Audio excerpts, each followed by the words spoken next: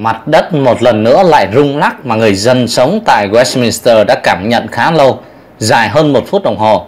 Và liệu đây có phải là những tín hiệu cho thấy sắp có một trận động đất Big One mà các chuyên gia đã từng tiên đoán trước đây hay không? Người Việt chúng ta sống ở bang California thực sự là rất lo lắng với nhiều trận động đất liên tiếp xảy ra như vậy. Theo thông báo của cơ quan khảo sát địa chất Hoa Kỳ, trận động đất mới nhất có cường độ là 7,1 Richter chỉ cách thành phố Lido Sài Gòn tại Westminster là khoảng 160 dặm tức là tương đương 260 km về hướng Bắc là nơi gần cả ba cơn động đất lớn nhất xảy ra. Trước đó vào ngày 5 tháng 7, ngày thứ sáu một trận động đất 5,4 độ Richter đã xảy ra gần Sorrow Valley. Một ngày sau khi trận động đất 6,4 độ làm rung chuyển khu vực. Tuy là có cường độ cao nhưng đây là trận hậu chấn và hai cơn chấn động lớn vào ngày thứ sáu nằm trong hàng loạt dư chấn xảy ra kể từ sau cơn động đất 6,4 độ vào sáng ngày thứ năm. Động đất sáng ngày thứ sáu được ghi nhận lúc 4 giờ 7 phút sáng theo giờ California. Có tâm chấn cách Cerro Valley khoảng là 9,7 dặm về phía tây và cách Ridgecrest 10,8 dặm về phía bắc, đông bắc theo cơ quan khảo sát địa chất Hoa Kỳ USGS. Không có báo cáo nào về tổn thất trong khu vực động đất. Tuy nhiên, hiện tượng nhà rung lắc đã khiến cho nhiều ngôi nhà bị nứt cũng như là bị chấn động. Người dân tại các quận hạt Los Angeles, San Bernardino và Orange đều cảm nhận được chấn động như vậy. Nhiều chuyên gia nói rằng những cơn chấn động như thế này gây ảnh hưởng lớn đến những công trình xây dựng như đường ống dẫn khí bởi lẽ đây cũng là sự tác động không biết khi nào nó lại hư hỏng và làm cho những cấu trúc cố định có khả năng bị chấn động và nguy cơ bị hư hại rất lớn. Trong cuộc họp báo vào chiều ngày thứ sáu, các chuyên gia của Đại học Kỹ thuật California Contact cho biết là đã đo được hơn là 1.400 hậu chấn kể từ trận động đất mạnh vào ngày thứ năm. Các chuyên gia nói thêm rằng có 6% cơ hội một trận động đất 6 độ hoặc là mạnh hơn nữa sẽ xảy ra trong những ngày tới đây. Và khi nghe điều này, nhiều người Việt chúng ta sống tại California, đặc biệt tại những khu vực thường xảy ra những cơn động đất lại cảm thấy thêm lo lắng mà thôi. và ngày thứ năm, cơn địa chấn gây rung chuyển như những đợt sóng lan truyền trên mặt đất với cường độ là 6,4 độ đã xuất phát từ một nơi hẻo lánh trong sa mạc tại Nam California. Sự rung lắc đã lan rộng từ tứ phương và cảm nhận rất rõ ràng ngay tại Westminster ở quận Camden ở trên thành phố Los Angeles và đến tận Las Vegas, ở bên tiểu bang Nevada. Theo cơ quan khảo sát địa chất Hoa Kỳ cho biết, đây là cơn động đất mạnh nhất trong vùng trong hai thập niên qua. Những đợt sóng rung chuyển bắt đầu sau 10 giờ 30 phút sáng ngày thứ năm, ngày 4 tháng 7 đưa đến hàng chục cơn hậu chấn khác với cường độ nhẹ hơn. Vài vụ cháy nhà đã xảy ra liên quan đến động đất và một số vụ khẩn cấp y tế cũng được ghi nhận tại Nam California. Đồng thời, điều nghiêm trọng là lệnh di tản đã được thi hành một nhiều tòa nhà chung cư và tuy vậy nhà chức trách nói với nhiều giới truyền thông trong một cuộc họp báo là hầu như là không có ai bị thương tích nào đáng kể. Ông David Wood, trưởng ty cứu hỏa tại Kern County cho biết và hầu hết những cú gọi điện thoại xuất phát từ Ridgecrest, một thị xã có khoảng là 30.000 cư dân và nằm gần trung tâm của cơn động đất 6,4 độ. Những cuộc gọi cũng cho thấy có những người bị thương, hai ngôi nhà bị cháy và một số dây điện bị rớt xuống đường, cũng như là vài căn nhà bị hở khí đốt và nguy cơ hỏa hoạn rất lớn. Trưởng ty cảnh sát hạt Kern cũng cho biết các nhân viên cứu hộ từ các địa phương khác cũng đã đến đây để hỗ trợ hạt này cũng đã mở một trung tâm điều hành khẩn cấp đối phó hậu quả động đất. Ông trưởng ty cứu hỏa David nói rằng số người gọi điện thoại vào sở của ông để báo tin cần trợ giúp đã nhiều hơn so với số nhân viên của sở. Tuy vậy, ông cho biết trong vòng 2 giờ đồng hồ thì mọi người đều nhận được sự trợ giúp. Trong khi đó, Sở Cảnh sát Kern County Sheriff Office cho biết là lệnh di tản đã được thi hành tại một bệnh viện ở thị xã Ridgecrest và tại nhiều tòa nhà chung cư ở trong vùng. Người dân được thông báo là họ có thể đến các trung tâm tạm trú, kể cả một chợ Walmart ở tại thị xã. Thế nhưng cho đến buổi trưa thì số người đến các trung tâm tạm trú đã không tới chục người. Tâm điểm của trận động đất nằm trong sa mạc Mojave, cách thành phố Los Angeles khoảng 100 dặm về hướng Bắc và cách thành phố Bakersfield khoảng là 50 dặm về hướng Đông. Một viên chức thuộc cơ quan khảo sát địa chất Hoa Kỳ nói rằng mặc dù là trận động đất này đã lan rộng và những cơn địa chấn của nó đã kéo dài xuất phát trong vùng hẻo lánh nên cơ quan không dự đoán được sự thiệt hại sẽ trầm trọng như thế nào. Nếu tâm điểm nằm gần Los Angeles thì tình hình sẽ rất là tệ hại. Vì với cường độ mạnh ở mức 6,4 độ thì sự thiệt hại sẽ rất lớn và số thương vong sẽ không thể nào ngờ được và Lucy Jones, một nữ chuyên gia về chất học tại trường đại học kỹ thuật Caltech nói rằng đây là trận động đất lớn nhất tại Nam California kể từ năm 1999 trên một chục cơn hậu chấn đã được ghi nhận. Dữ kiện cho thấy là trước khi có động đất 6,4 độ thì đã có động đất 4 độ vào khoảng nửa giờ trước đó.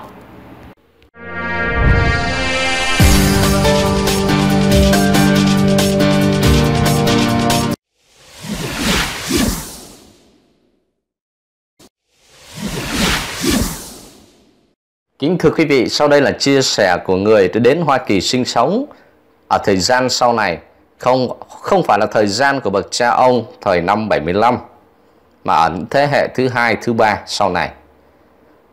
Nước Pháp hay là bất cứ một nước phương Tây bất kỳ không phải là thiên đường như mọi người theo cái quan điểm riêng thì cũng tùy theo mọi người. Có người thì nghĩ đó là thiên đường, có người thì nghĩ là không. Một câu chuyện sau đây kể lại bạn tôi có thể được coi là thành đạt ở Việt Nam khi giữ chức vụ trưởng phòng kinh doanh trong một tập đoàn. Chồng có công ty riêng tuy nhỏ nhưng cũng đủ lo cho gia đình, cho cuộc sống thoải mái về kinh tế và có của ăn, của để. Gia đình họ là hình mẫu lý tưởng cho nhiều nhóm bạn trẻ, cả về kinh tế lẫn sự ấm êm hạnh phúc ở trong nước. Thế rồi một ngày đùng một cái nghe tin họ ly dị rồi cô bạn nhanh chóng kết hôn với một ngoại kiều Úc và theo chồng mới sang đó định cư. Kính thưa quý vị, nghe đến đây chúng ta thấy là dường như những nhận định bằng mắt ở bên ngoài về cái cuộc sống của ai đó của chúng ta nó cũng chỉ là tương đối, không phải là sự thật. Bởi lẽ ở trong chăn với biết chăn có rận. Xin nói tiếp về câu chuyện sau đây. Chồng cô ấy không lâu sau đó cũng đã xuất ngoại theo diện kết hôn và cũng đích đến là nước Úc. Hơn 2 năm sau, hai đứa con cũng lần lượt được cha mẹ đón qua đoàn tụ tại Úc. Trước khi đưa hai con qua, cô ấy mời bạn bè Hàn huyên tâm sự. Lúc đó, chúng tôi mới được biết họ đã ly hôn và làm kết hôn giả để cả nhà được đi qua Úc. Tôi hỏi bạn, có hài lòng với quyết định của mình không? Cô ấy lắc đầu, mắt ngắn, nước, nói nhỏ. Tôi hy sinh vì con mày ạ. À. Câu chuyện của cô ấy cũng đã gần chục năm, nhưng nó vẫn khiến tôi không thôi đặt dấu hỏi, liệu là quyết định của họ là đúng hay sai cho đến khi chính tôi bước chân vào làm người trong cuộc, sống đời tha hương. Tôi lấy chồng Pháp sinh sống cùng chồng ở Việt Nam nhiều năm, trước khi quyết định qua Pháp sống, và hiện tại đã có gần 4 năm sinh sống ở Pháp. Thời gian không quá dài, nhưng cũng đủ để tôi vỡ ra nhiều điều. Nước Pháp hay bất cứ một phương Tây bất kỳ không phải là thiên đường như bạn nghĩ. Ở đó có đủ chua cay, đủ thử thách và không dành cho những ai mong manh yếu đuối. Cũng phải nói rõ, tôi chỉ đưa ra những nhận định của mình từ cuộc sống thực tế ở Pháp cá nhân, chứ không dám làm bàn đến cuộc sống ở các nơi khác. Nhưng tôi tin là sẽ có những tương đồng nhất định. Khi mới qua Pháp, ngay sau khi đi làm các thủ tục giấy tờ cho việc tạm trú, thì những người di dân như tôi, dù là di dân theo dạng nào cũng vậy, lập tức được chính quyền thông qua văn phòng quản lý các vấn đề về người nước ngoài cho đi khám sức khỏe, cho đi học phổ cập kiến thức căn bản về văn hóa, về xã hội hay là luật pháp của nước sở tại. Và sau đó tùy vào trình độ tiếng Pháp đến đâu mà được sắp xếp cho đi học tiếng. Trung bình khoảng là hai khóa học kéo dài từ 150 đến 300 giờ. Khi hoàn tất các thủ tục giấy tờ định cư, mỗi người sẽ được cấp một thẻ bảo hiểm y tế. Thẻ này mỗi khi đi khám bệnh Mua thuốc theo toa chỉ cần đưa thẻ ra để quẹt máy và có giá trị thanh toán như là thẻ ngân hàng nhưng chỉ dành riêng cho lĩnh vực y tế và tỷ lệ thanh toán của thẻ trên tổng chi phí khám chữa bệnh đó là từ 60 đến 75% tùy mức độ điều trị. Đối với trẻ con, chỉ cần được chấp nhận cho tạm trú thì dù là quốc tịch là gì cũng được nhập học miễn phí cho đến hết bậc trung học cơ sở. Hai khoản y tế và giáo dục không phải lo lắng đã đủ khiến tôi choáng ngợp và tự nhủ. Mình đã không sai khi theo chồng qua đây, thiên đường là đây chứ đâu. Khi cái lâng lâng sung sướng của những thứ miễn phí hoặc là cận miễn phí qua đi thì thực tế của cuộc sống bắt đầu cho tôi những bài học. Trước hết là ngôn ngữ. Dù là khá thông thạo tiếng Anh nhưng việc học tiếng Pháp cũng không đơn giản như tôi tưởng. Hơn 40 tuổi, cái đầu tôi bây giờ có quá nhiều chi phối chẳng thể tập trung cho việc học. Là học tập trung ngày 7 giờ đồng hồ, tuần 4 ngày rưỡi đấy, nhưng kết thúc tất cả các khóa học thì trình độ tiếng Pháp của tôi cũng chỉ ở mức nghe và hiểu những câu giao tiếp đơn giản hoặc là nói chuyện đối mặt một cách chậm rãi vì tôi còn có thể nhìn khẩu hình mà đoán. Còn bằng thấy vào một nhóm người giỏi lắm tôi cũng chỉ mơ hồ là họ đang nói về đề tài gì chứ không thể nào mà bắt chuyện nói với họ được. Khi ngôn ngữ chưa thông thạo cũng đồng nghĩa với việc cơ hội kiếm việc làm trở nên thu hẹp. Tôi cần làm việc trước hết là bởi nhu cầu của chính tôi là phải hoạt động, phải giao tiếp chứ không thể nhốt mình trong bốn bức tường chờ chồng mỗi ngày. Thêm nữa, chồng tôi dù là có một công việc ổn định đảm bảo cuộc sống cho gia đình nhưng cũng chỉ đến mức vừa đủ. Muốn có chút dư giả nhất định tôi phải góp phần. Nhưng ở Pháp, phụ nữ tuổi trên 40 có con nhỏ như tôi thì đến người bản địa còn khó mà kiếm việc, huống hồ là một người chân ướt chân ráo mới qua. Tiếng thì chưa rành, bằng cấp mình có ở Việt Nam chẳng có tác dụng gì vì không được chấp nhận hoặc là nên việc xin một công việc làm ở trong văn phòng mưa chẳng đến mặt và nắng chẳng đến đầu thì đó là một giấc mơ thực sự là xa xỉ ở trên đất nước này. Kiếm tiền bây giờ chỉ còn được những việc lao động chân tay như là làm neo, phụ lau dọn nhà hàng. Lau dọn thôi nha, phục vụ thì không đạt chuẩn ngôn ngữ. Phụ bếp thì không phải là ai cũng có khả năng. Và làm neo, cửa cũng hẹp cho phụ nữ tuổi trên 40 vì mắt đã bắt đầu kém đi. Sự tỉ mỉ không có và trừ khi đó cũng là nghề từng làm ở Việt Nam chứ bảo qua đây rồi học e rằng cũng khá là chật vật vất vả. Còn làm ở trong nhà hàng thì xác định luôn con cái sẽ thiệt thòi bởi nhà hàng làm việc vào giờ nghỉ của các gia đình. Sớm thì cũng phải là 11 giờ đêm mới được nghỉ. Chưa kể là công việc chắc chắn rất là vất vả cực nhọc. Tính tới tính lui, cuối cùng tôi quyết định mở một nhà hàng nhỏ tại nhà để mà kinh doanh. Việc kinh doanh ban đầu có vẻ là cực kỳ thuận lợi từ thủ tục cho đến khâu chuẩn bị. Nơi tôi ở chưa có nhà hàng Việt nên ngay lập tức địa chỉ của tôi đã trở nên hút khách. Dù đã chọn loại hình kinh doanh là khách mua mang đi chứ không phục vụ tại chỗ, nhưng những lúc cao điểm cũng phải tới 9 giờ đêm mới được ra khỏi cái bếp. Nhìn tiền thu về thì ham đấy, nhưng không ngăn nổi cơn mệt mỏi đến rệu rã trong người. Việc nhiều đến độ tôi nghĩ đến chuyện thuê thêm người phụ giúp, nhưng tính đi tính lại thì không khả thi. Bởi ở Pháp để thuê một người lao động bị ràng buộc rất chặt chẽ về hợp đồng chưa kể là đủ loại thuế và bảo hiểm người chủ phải trả cho người lao động. Tính ra, nếu làm nhỏ mà thuê người thì coi như là hết lãi. Thôi thì cũng đành chịu cực vậy. Kiếm đồng lời đâu có dễ. Sau năm đầu kinh doanh thấy cũng có lãi, so ra hơn là đi làm thuê nên tôi phần nào cũng yên tâm. Đến năm thứ hai, kinh doanh ngày càng khá khẩm, chắc chắc là năm nay mình để giành được nhiều đây. Nhưng là cú sốc thuế đã hạ nốc ao tôi trong tích tắc hóa đơn thuế đến, bảo hiểm cuối năm gửi về với số tiền cao chóng mặt gấp nhiều lần năm trước khiến tôi choáng váng. Hỏi ra mới hay, năm đầu được ưu đãi thuế nên mới dễ thở như thế, chứ từ năm thứ hai trở đi thuế chỉ có tăng chứ không có giảm. Tính đi tính lại là hỏi vốn, coi như là cả năm làm không vì không tự trả lương, đấy là còn không phải trả tiền nhà, chứ nếu thuê mặt bằng thì cầm chắc cái lỗ. Hỏi thăm mấy người bạn kinh doanh ở bên này Ai cũng bảo làm đủ ăn. Dù đã đóng thuế, đóng bảo hiểm là may rồi đấy Đâu ra lãi nữa. Ở Pháp chẳng hồ danh là đất nước có nhiều loại thuế bậc nhất thế giới. Và được tự hào là đánh thuế con gà Vì nó sẽ đẻ trứng.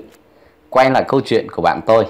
Từ khi có mạng xã hội thì chúng tôi cũng cập nhật thông tin về nhau một cách dễ dàng hơn. Và bạn bè cũng mở lòng kể cho tôi nghe vì sao lại chọn con đường cả gia đình đi Úc. Hồi đó để được đi cả gia đình như thế thì bạn tôi đã phải chi ra số tiền không hề nhỏ, sắp xỉ trăm ngàn USD, chưa kể tiền vé máy bay qua lại mấy lần cho hai người được thuê, kết hôn cùng họ. Bán tháo hết tài sản qua đến Úc chỉ đủ mua cái nhà, cái xe và rồi sau đó hai vợ chồng kéo cày nuôi con. Cũng như tôi, bạn rất khó khăn để có thể xin được việc làm như ý vì bằng cấp không phù hợp mà học lại để kiếm việc tốt hơn thì ai nuôi con nên đành chấp nhận làm chân lau dọn trong một nhà hàng thức ăn nhanh. Chồng của bạn thì xin làm trong một gara sửa xe. Cuối tuần còn xin đi làm vườn cắt cỏ mới có chút tiền để dành. Vất vả quá nên vợ chồng cũng chẳng thể vui và hạnh phúc. Cái lý lẽ vì tương lai của con sao nghe mà đắng chát. Không thể phủ nhận những cái tốt ở các nước phương Tây, nhưng chắc chắn không phải thiên đường nếu bạn chỉ là một người lao động làm công ăn lương ở Việt Nam thì việc qua nước ngoài cắm đầu cày kiếm tiền đúng là có lý tưởng hơn thật. Lý tưởng nhất để có thể sống bình yên đến già ở một nước phương Tây là bạn phải sang đây từ nhỏ, ít nhất là từ bậc đại học thì mới có thể hòa nhập, học tập và kiếm được việc làm như ý. Sau tuổi 30 qua nước ngoài vẫn còn cơ hội nếu bạn giỏi ngoại ngữ và đã có bằng cấp chuyên môn qua đây chỉ phải học lại từ 1 đến 2 năm là có thể đi làm. Cày cật lực mấy chục năm, may ra là về già lãnh lương hưu mới đủ sống. Ngoài 40 qua nước ngoài thì xác định luôn, hoặc là chồng bạn phải có thu nhập thật cao để bạn khỏi áy náy khi ngồi ở nhà. Hai là phải chấp nhận làm những việc lao động chân tay không như ý muốn. Mà có siêng năng đến đâu thì tuổi này cũng xác định về già, tiền lương hưu chẳng đáng là bao vì thời gian làm việc của bạn không đủ để lãnh mức lương hưu tối đa.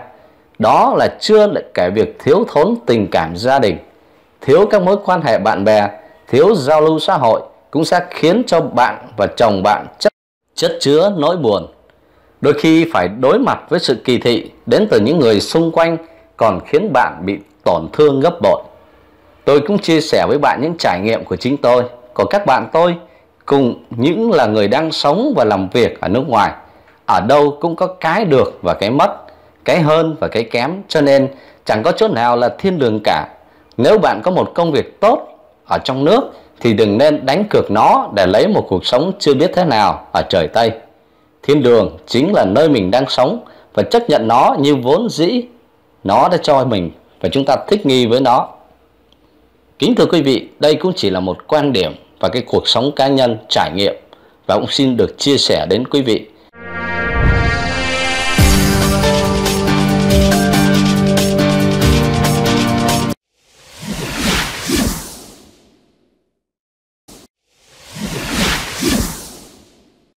Kính thưa quý vị, một chút thông tin kênh xin gửi đến quý vị. Xin chân thành cảm ơn quý vị đã dành thời gian quý báu để lắng nghe, cũng như dành thời gian để nhấn đăng ký và thích kênh để quý vị có thể nhận được những video mới nhất từ kênh. Xin trân trọng.